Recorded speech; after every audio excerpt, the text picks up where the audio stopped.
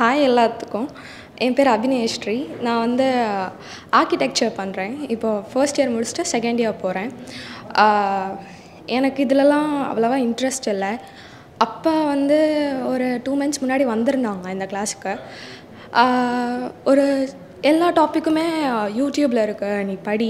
இல்லைனா ஆன்லைனில் கூட இருக்குது நீ டவுன்லோட் பண்ணி படித்து பாரு. உனக்கு கரெக்டாக இருக்கும். நீ நிம்மதியாகவும் இருப்பேன் ஏன்னா வந்து நான் வந்து லண்டனில் படிக்கிறேன். தனியாக தான் இருப்பேன். எனக்கு ஃப்ரெண்ட்ஸ் யாரும் அவ்வளோவா இருக்க மாட்டாங்க. ஏன்னா நான் வந்து பேச்சுலர்ஸ் படிக்கிறனால யாரும் பேச மாட்டாங்க. ஆனால் யூரோப்பியன்ஸ் இருப்பாங்க. மோஸ்ட்லி நான் பேசிக்க மாட்டேன் எதுவும் வெளியெல்லாம் போய்க்க மாட்டேன். மாஸ்டர்ஸ்க்கு வேணால் நிறைய பேர் இருப்பாங்க இருந்தாலும் அவ்வளோவா பழக மாட்டேன். ஏன்னா அவங்களுக்கும் ஒர்க் இருக்கும். எனக்கு அந்த ஏஜ் இல்லாதனால நானும் போக முடில ஸோ அப்பா வந்து இதை படிக்க படித்து பாரு.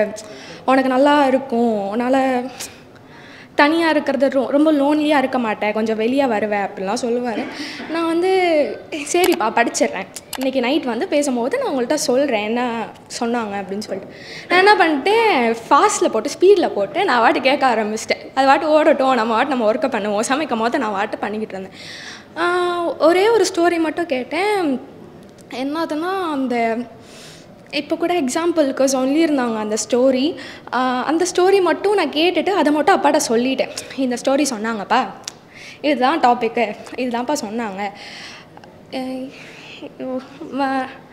மறந்து போச்சு என்ன ஸ்டோரின்னு சொல்லிட்டு சடனாக ஞாபகம் வரலை. அந்த ஸ்டோரி மட்டும் சொன்னேன் அப்பாட்ட. இதான்ப்பா சொன்னாங்க. இது மட்டும் தான் சொன்னாங்களா அப்படின்னு.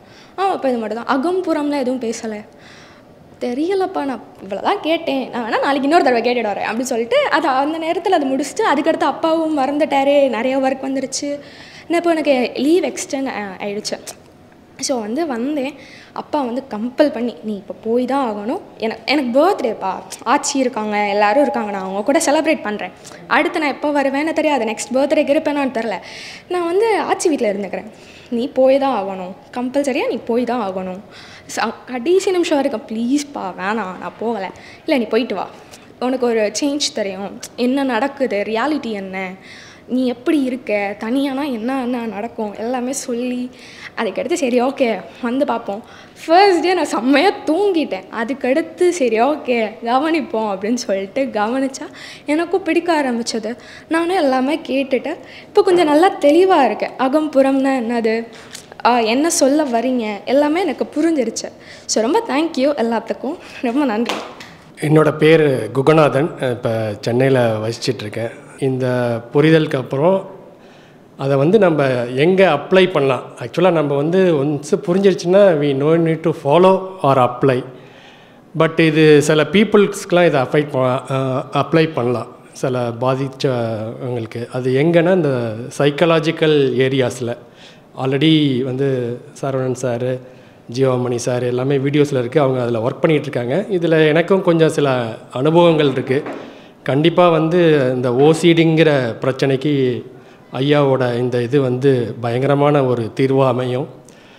அப்புறம் அதிலே பார்த்திங்கன்னா டிப்ரெஷன் ஆன்சைட்டி அது ரெண்டும் ஒட்டி பிறந்த குழந்தைகள். ஸோ அங்கேயும் இது வந்து அப்ளை பண்ணால் டெஃபினட்டாக வந்து நல்ல மாற்றங்கள் இருக்கும். அப்புறம் அடுத்தது பார்த்திங்கன்னா ஒரு பைபோலார் டிசார்டர் அப்படின்னு ஒன்று இருக்குது அது ஒன்றும் இல்லை எனர்ஜி லெவல் அதிகமாக இருக்கும். எனர்ஜி லெவல் சில சமயம் கம்மியாக போயிடும். டெஃபினட்டாக அது அப்ளை பண்ணலாம். அப்புறம் இங்கே சிலவங்க சொன்னாங்க பிஎஸ் அது கரெக்டாக தெரில பிஎஸ்டிஎன்னு சொல்லுவாங்க. அது பிடி பிடிஎஸ்டி போஸ்ட் ட்ராமா அப்புறம் அது ஏதோ பேர் தெரில பட் ஒரு இது அஃபெக்ட் ஆனதுக்கப்புறம் ஒரு குழந்தை பிறந்துருச்சுன்னா ஒரு பயம் வந்துடும் இல்லை ஒரு சம்பவம் ஏதாவது ஒரு விரும்பத்தகாத சம்பவம் நடந்தால் அதையே நினச்சி அதே பயம் இருக்கும். எனக்கு தெரிஞ்சு இந்த அஞ்சு இதுலேயும் நம்ம ஒர்க் பண்ணி அந்த மக்களுக்கு நம்ம ஹெல்ப் பண்ணியா அப்புறம் இன்னொன்று ஸ்கீசோஃப்ரீனியா அந்த ஹால்சினேஷன் வருதில்ல. ஸோ இதோட அப்ளிகேஷன் வந்து இருந்தால் மக்கள் எல்லோரும் இந்த மாதிரி அஃபெக்ட் ஆனவங்களுக்கு ரொம்ப பேர் உதவியாக இருக்கும். அதுக்கு வந்து நம்ம குழுமம் வந்து அதுக்கு செயல்படணும் ஐயாவோட உதவியோட. அதான் நன்றி. ஸ்ரீ பகவத் ஐயா அவர்களின் மூன்று நாள் ஞான முகாம் ஜூன் மாதத்தில் நடைபெற உள்ளது.